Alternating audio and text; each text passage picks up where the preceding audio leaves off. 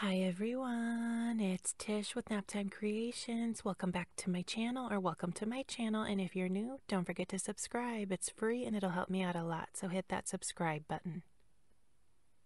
Today we're going to be making a purple flower resin coaster, so let's jump in and get started. I went ahead and mixed up my resin off camera. Today I'm using the Platinum 360 resin from Laura's Art Corner.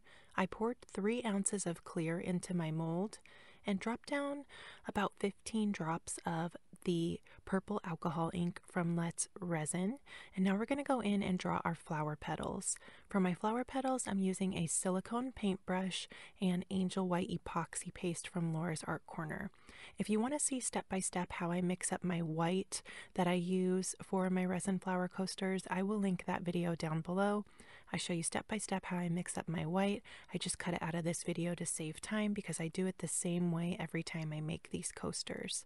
So I started out by drawing just little small petals in the center of my mold here and then I'm going to add a few more just to make like a cluster of petals and then I'm going to make the petals bigger as I go out towards the perimeter of the mold.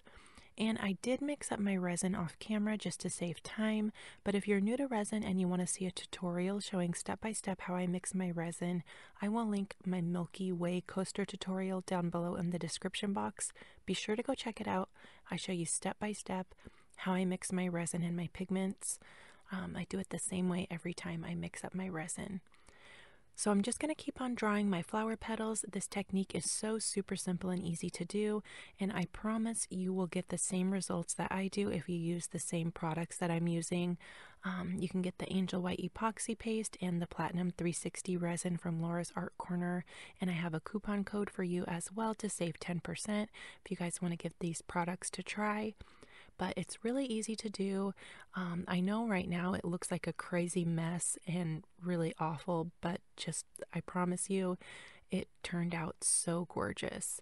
Here we are the next day, ready to demold it, and you can see all the kind of depth and dimension in there from the flower petals and by making the petals smaller in the center and then working our way out towards the perimeter of the mold, we made the flower petals a little bit larger.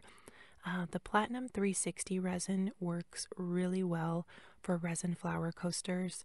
Um, they've been turning out really, really pretty for me, so definitely give it a try. Um, it's a medium viscosity resin and it sets up in about 20 minutes after you mix it. So you do have to work very fast with it. I mean, once you're done mixing, you got to start pouring. Um, I didn't let my resin sit at all before I made this coaster. I just mixed up my resin and then I started pouring dropped down my alcohol inks and um, did my flower petals. But I hope you guys give this a try. Here's what it would look like on a darker background really pretty as well. This is such a fun technique. I'm having so much fun making these flower coasters. Let me know what you guys think of this one down in the comments.